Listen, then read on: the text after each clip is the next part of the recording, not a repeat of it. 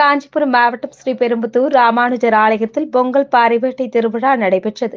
இந்நிகழ்ச்சியின் போது மதுரையில் இருந்து வரவழைக்கப்பட்ட கரகாட்ட குழுவினர் ஆடினார்.